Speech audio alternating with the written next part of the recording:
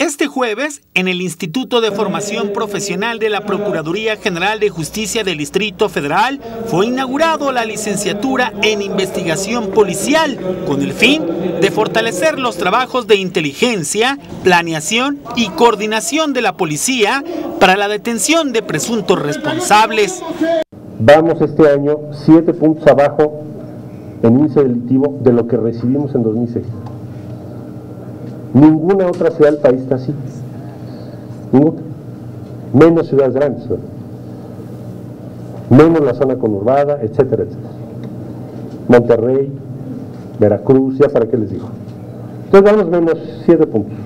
Todos los días lo medimos, es obsesivo eso. Bueno, eso dicen mis colaboradores. Que doy mucha lata con los números. Bueno, entonces vamos en menos 7. Queremos llegar más, ¿verdad?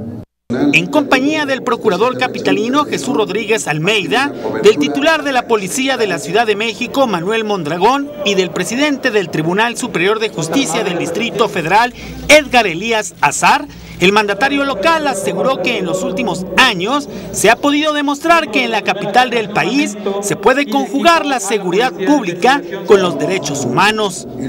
Son perfectamente compatibles y necesarios las dos estrategias estrategia de seguridad y altos estándares de derechos humanos. Tan es así que por eso los resultados que hay aquí, si no, no los tendríamos. Y la Procuraduría y la nueva generación que el día de hoy nos acompaña, va a tener la responsabilidad, ya la tiene, y la va a tener, de que esto siga siendo así, porque como decía yo al principio, trabajamos para el 2012, pero también para el 2020 y también para el 2030. Es decir, hay que continuar con el plan maestro que se hizo y seguir adelante con la misma ruta. En dicho evento fueron entregados 55 vehículos a la Policía de Investigación, así como armas, granadas y chalecos tácticos con videotransmisor.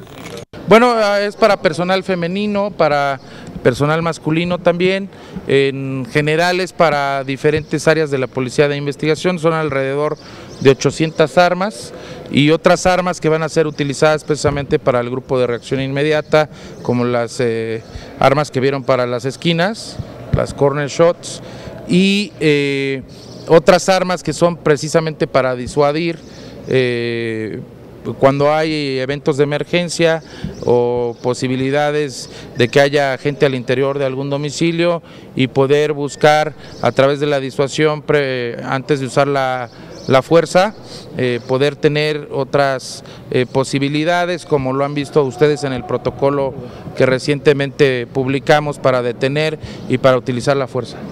De igual manera, le fue entregado al Instituto de Formación Profesional una pista atlética, un área de adiestramiento y una casa táctica. En la imagen, Ángel Montejano.